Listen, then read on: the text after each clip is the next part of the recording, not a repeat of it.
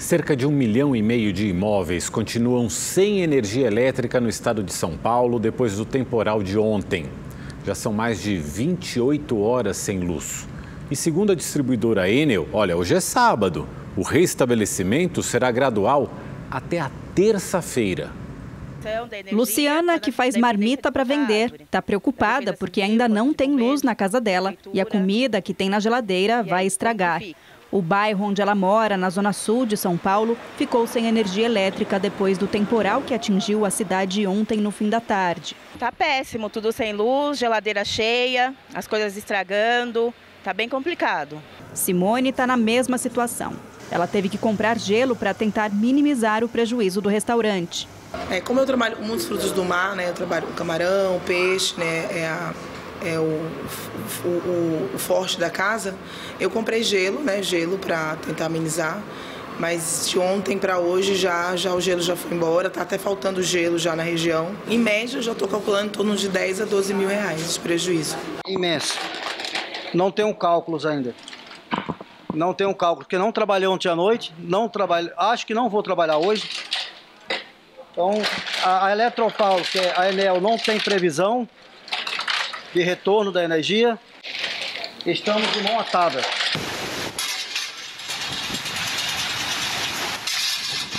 A chuva e o vento forte provocaram a queda de mais de mil árvores pela cidade. Olha, a árvore caiu, velho! Só dentro do Parque do Ibirapuera, que ficou fechado hoje, foram cerca de 100. Essa ficou atravessada na avenida. Muitas atingiram fiações elétricas. A falta de energia chegou a afetar mais de 2 milhões e meio de imóveis. Não tem. Agora estamos só economizando a bateria do, do telefone e, e, e usando os dados. A maior parte dos afetados está na área de concessão da empresa Enel, que atende a região metropolitana. De acordo com a empresa, a prioridade é restabelecer a energia em hospitais e serviços de emergência. Nossa melhor previsão é atender a maioria das ocorrências até terça, deixando por a parte final algum caso pontuais.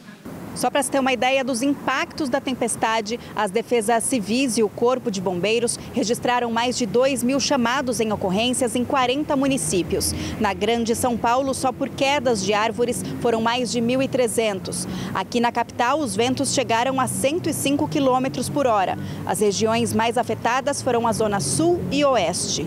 Desde que se tem essas informações, em 1995 não houve nenhuma situação de ter é, é, uma rajada de vento com mais de 100 km por hora. Estou aqui acompanhando, a gente está é, trabalhando para restabelecer a cidade é, o quanto antes. E que esperamos até terça-feira, né? A gente tenha totalmente essa situação resolvida. Foram registradas seis mortes. Em Santo André, no ABC Paulista, uma pessoa não resistiu ao ser atingida por destroços que caíram de um prédio. Em Limeira, Suzano e na capital paulista, mais quatro morreram atingidas por quedas de árvores. Em Osasco, um muro desabou sobre um jovem de 21 anos. Ele também não resistiu. Não era nem a chuva, era a ventania mesmo, né? E nisso ele estava vindo, passando por aqui, né? O caso estava vindo do serviço. E aí caiu essa, aquela árvore, caiu em cima do muro e pegou ele aqui, ó. A gente, a gente viu crescer, né?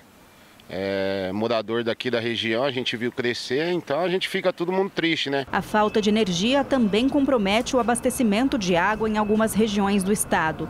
Em nota, a Sabesp, Companhia de Saneamento Básico de São Paulo, afirmou que a interrupção no fornecimento afetou o nível dos reservatórios e pediu que a população economize água até a normalização do sistema. O primeiro ponto é se cadastrar para receber o nosso SMS 4199.